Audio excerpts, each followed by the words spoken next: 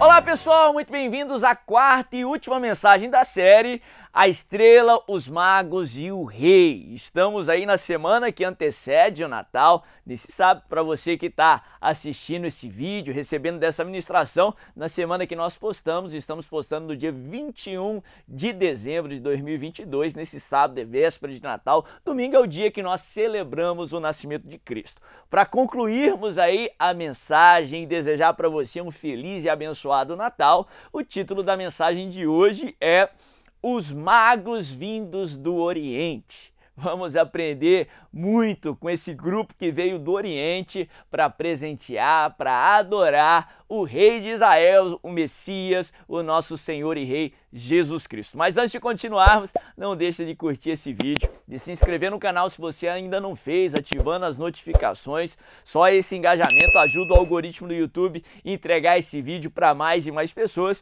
para que mais e mais pessoas sejam alcançadas e abençoadas. É esse um dos nossos principais objetivos aqui no canal. O texto que nós estamos lendo Está lá no livro de Mateus, no Evangelho de Mateus, no capítulo 2, a partir do verso 1. A Bíblia diz assim: Depois que Jesus nasceu em Belém da Judéia, nos dias do rei Herodes, magos vindos do Oriente chegaram a Jerusalém e perguntaram: Onde está o recém-nascido rei dos judeus? Vimos sua estrela no Oriente e viemos adorá-lo. Quando o rei Herodes ouviu isso, ficou perturbado, e com ele toda Jerusalém. Tendo reunido todos os chefes dos sacerdotes do povo e os mestres da lei, perguntou-lhes onde deveria nascer o Cristo. E eles responderam: Em Belém da Judéia, pois assim escreveu o profeta.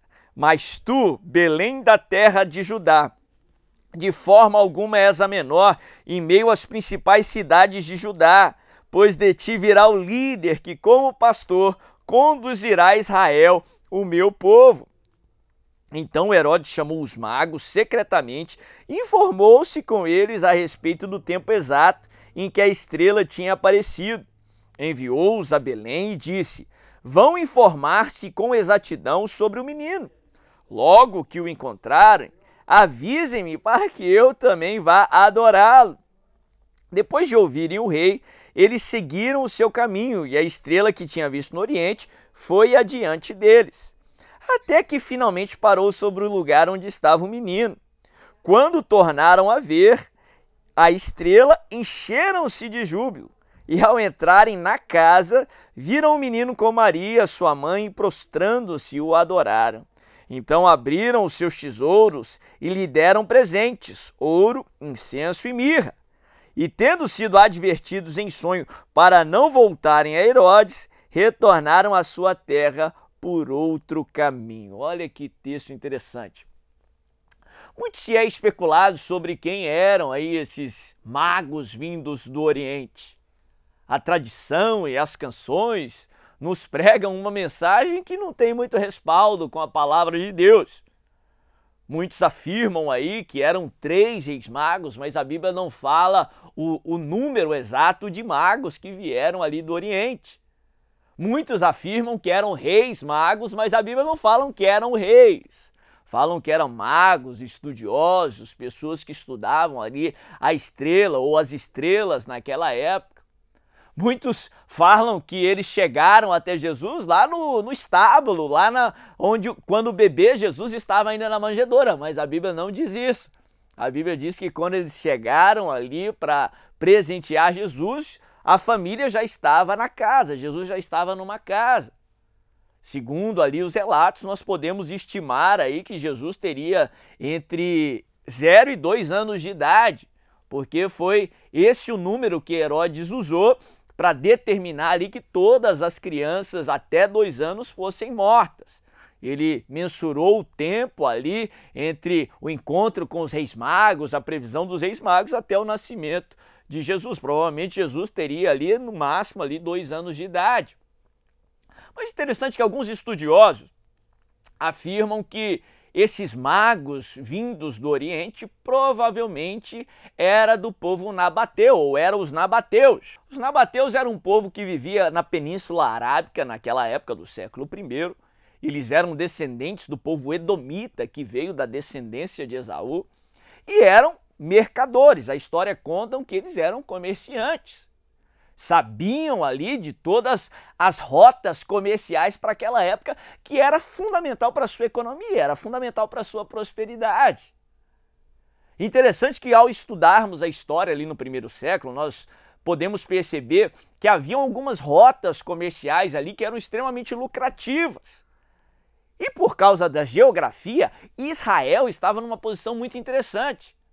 Haviam duas rotas comerciais que passavam exatamente ali por Judá, por Israel. Uma delas ligava o porto ali de Gaza, em Israel, até toda a Península Arábica ali, até o leste do Iêmen. Outra guiava ou englobava do Egito até a Ásia Menor, ali no norte, até a Síria, até o leste ali da Pérsia. Duas rotas extremamente lucrativas e que o rei de Israel teria uma importância muito grande para quem quisesse transitar ali naquelas rotas. Tendo esse conhecimento histórico, nós podemos perceber que aqueles presentes que aqueles magos vindos do Oriente estavam trazendo não eram apenas ali o ouro, o incenso e a mirra, mas eram presentes diplomáticos. Porque ele sabia que o rei de Israel seria fundamental para aqueles próximos anos. Eles sabiam que o próximo rei de Israel teria a chave daquelas rotas comerciais. Eles sabiam que a, o rei de Israel, que o próximo rei de Israel, seria a porta para que eles tivessem um futuro abençoado. Aqueles magos vindos do Oriente tinham mais fé no verdadeiro rei de Israel do que os judeus praticantes ali do judaísmo que serviam a Herodes. Olha, se nós já não aprendemos uma lição tremenda aqui com esses magos vindos do Oriente. Eles sabiam que o rei de Israel, Jesus, era a porta para a bênção deles. Primeira lição que eu quero enfatizar nessa última mensagem: Jesus é a porta das ovelhas, Jesus é a porta para a presença de Deus, Jesus é a chave para que nós sejamos abençoados, Jesus é a porta para que você tenha um futuro abençoado, para que você tenha um fim de ano abençoado. Em outras palavras, se você quer ter um futuro abençoado, você precisa de Jesus, como os magos vindos do Oriente vieram até Jesus porque sabiam que o rei de Israel seria a chave para para um futuro próspero, para um futuro abençoado, que você possa ir até Jesus para que você tenha um futuro abençoado, para que você tenha um futuro próspero. Como eles não eram judeus, eles não eram praticantes do judaísmo, eles vieram atrás de um rei.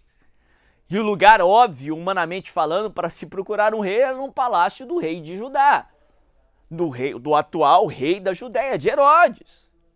Só que eles chegam em Herodes e, se nós estudarmos um pouco ali o contexto histórico, nós sabemos que Herodes não era um rei legítimo judeu, ele não era nem judeu de nascimento. Ele não tinha legitimidade para aquele trono. Herodes não era um bom rei, pelo contrário, era um tirano. Chegou a assassinar filhos, assassinar sua esposa. Literalmente ali um rei totalitário e tirano para Israel. Eles tentam procurar um rei e eles se deparam com um tirano. Mas apesar daquela frustração, apesar de não ter encontrado o rei ali no palácio do atual rei de Israel, eles continuaram a buscar Cristo Jesus. Segunda lição que eu aprendo com os magos vindos do Oriente: persevere em buscar a Cristo Jesus. Não pare nas primeiras frustrações, não pare nas suas decepções, pelo contrário, entregue suas frustrações na mão do Senhor e continue buscando a Cristo Jesus. A solução que você precisa, a bênção que você precisa está em Cristo Jesus. Eu não sei o que você precisa, eu não sei o que você necessita agora, mas eu tenho a certeza que tudo o que você precisa está em Cristo Jesus. Persevere em buscar a Cristo Jesus. Não pare nas primeiras frustrações, não deixe, não permita que as suas decepções o impeça de buscar a Cristo Jesus. Continue a buscá-lo. Interessante que eles procuram o rei em Jerusalém. O rei não estava ali na capital do estado de Israel, da Judéia daquela época. Eles procuram o rei ali em Herodes, o rei não era Herodes, Herodes não era legítimo, Herodes era um tirano. Por fim, eles vão para Belém, aquela cidade que até então era, era desprezada. E diante ali do inesperado, do incerto que eles estavam presenciando, aprendemos mais lições ainda com os magos vindos do Oriente. Aprendemos a lidar com o incerto. Quando o incerto bater na sua porta, quando você não ter, é, não saber ou não fazer sentido com a situação que você está enfrentando, ou melhor, quando o que você está enfrentando não fizer lógica para você, faça o que os magos vindos do Oriente fizeram. A Bíblia fala que diante do incerto, eles chegaram até onde Jesus estava e eles se prostraram e o adoraram. Eles perceberam que aquele sinal no céu era mais do que algo natural. Eles perceberam que aquela criança não era simplesmente um ser humano, mas era o próprio Deus que havia se feito carne quando o incerto bater na sua porta, se você tem um futuro aí incerto, adore ao Senhor. Adore ao Senhor. Faça aquilo que há de mais certo para um ser humano fazer, porque fomos criados para adorar ao Senhor. A Bíblia nos ensina que é a promessa de Deus para o adorador. Sim, o ser humano é muito mais beneficiado em adorar a Deus do que Deus em ser adorado. Se você não sabe mais o que fazer, o problema que você está enfrentando não faz lógica para você, adore ao Senhor. Aqueles magos, diante da incerteza, diante ali de tudo que eles estavam presenciando, duas atitudes ali que eu aprendo que nos ensinam a lidar com o incerto. Eles adoraram e eles obedeceram ao Senhor eles obedeceram a palavra de Deus, porque a Bíblia fala que após ali eles terem adorado ao Senhor em sonhos, eles foram advertidos pelo Senhor a não retornarem pelo caminho que vieram, e eles obedeceram a voz do Senhor. Se a situação que você está enfrentando não faz lógica para você, se você não sabe o que fazer, meu irmão, obedeça o Senhor. Isaías 1, verso 19, nos ensina que se nós quisermos é, é, experimentar os melhores frutos dessa terra, se, querer, se quisermos nos alimentar do melhor de Deus, precisamos estar dispostos a obedecer ao Senhor. Obedeça ao Senhor. É comum na vida cristã e na vida no ministério se deparar com algumas pessoas que questionam a veracidade da palavra. Muita gente pergunta para mim: "Ah, bispo, como é que você sabe que a palavra é verdadeira, que ela nunca foi alterada aí no curso da história?" Eu poderia dar muitas justificativas e muitas boas explicações. Mas a resposta que eu gosto de dar, e para mim a mais rápida e também a mais eficaz, é a seguinte: quando me perguntam como é que você sabe que a palavra é verdade, eu digo é porque funciona. Obedece para você ver.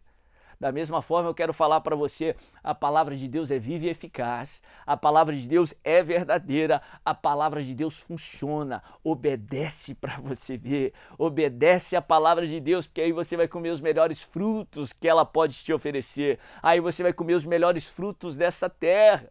Diante do incerto, aqueles magos vindos do Oriente adoraram ao Senhor e obedeceram à palavra do Senhor. Interessante que Herodes queria dar um fim naqueles magos. Herodes queria dar um fim ao, ao bebê, que era o próprio Cristo. Como que se o diabo pudesse vencer ou anular o propósito do Senhor? Não, Herodes foi frustrado.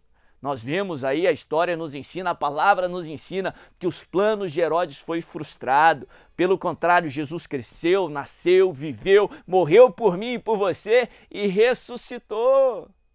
Mas a Bíblia fala que depois que os reis magos adoraram o Senhor, a Bíblia fala que Deus dá uma instrução para eles, para que eles não retornem pelo caminho no qual vieram. Porque se eles voltassem para aquele caminho, se eles voltassem ao normal, Herodes estaria ali e Herodes tinha preparado uma cilada para eles. Voltar pelo caminho que, no qual eles tinham vindo era uma cilada para o futuro deles e Deus traz transformação e coloca eles num novo caminho. Meu irmão, todas as vezes que nós buscamos ao Senhor, que nós encontramos com Cristo Jesus, todas as vezes que você adora ao Senhor, tua vida é transformada. Tua vida é transformada e as transformações que vêm de Deus não são para pior, pelo contrário, as transformações que vêm de Deus são sempre para melhor. Ele nos transforma porque ele nos livra de Herodes, das ciladas do inimigo. Ele nos transforma porque Ele quer que nós fiquemos cada vez mais parecidos com Ele e menos parecidos com esse mundo. Ele nos transforma porque Ele nos ama tanto que Ele quer o melhor para nós. Interessante que nós estamos vivendo numa época que o mundo ele foi meio que virado de pernas para o ar.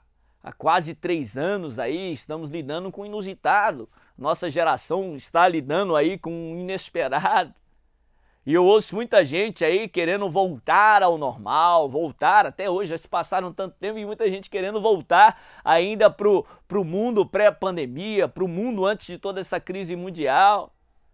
Mas interessante que se o, os magos voltassem para aquele normal, pelo caminho no qual vieram, havia cilada ali. Havia Herodes querendo destruir o propósito. Não, não queira voltar para o normal. Toda mudança que vem de Deus Toda mudança que é permitida por Deus é para melhor. Não queira voltar para onde você estava antes dessa crise, pelo contrário. Se Deus permitiu você entrar numa crise, é porque Ele vai trabalhar até na crise para te abençoar. Se Deus permitiu você entrar numa crise, é para que você saia dela melhor do que você entrou. Muitas vezes Deus não impede a gente passar por momentos de vergonha, mas Ele promete que para cada vergonha Ele tem dupla porção.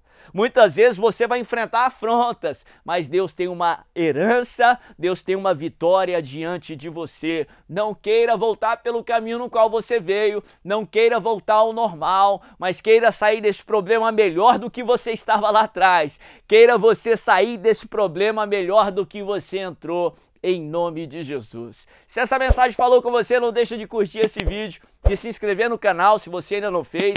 Deixa aqui um comentário compartilhando sobre algo que Deus falou com você clica nesse botãozinho para compartilhar nessa setinha e compartilhe com o máximo de pessoas possíveis. Aproveite para desejar um feliz Natal, para abençoar o Natal desse ente querido, dessa pessoa, para que em nome de Jesus o Espírito Santo possa encontrar essas pessoas nessa época de Natal e abençoá-las em nome de Jesus. Deixo para você um feliz Natal se você está assistindo aí nessas vésperas de Natal, nessa época de Natal. Se você está assistindo numa outra data, eu quero te lembrar que Jesus Jesus nasceu e esse é motivo de celebração em todos os dias do ano, em todas as épocas do ano. Jesus nos deu a vitória, nos trouxe salvação e esse é sempre o um motivo de alegria. Que Deus te abençoe.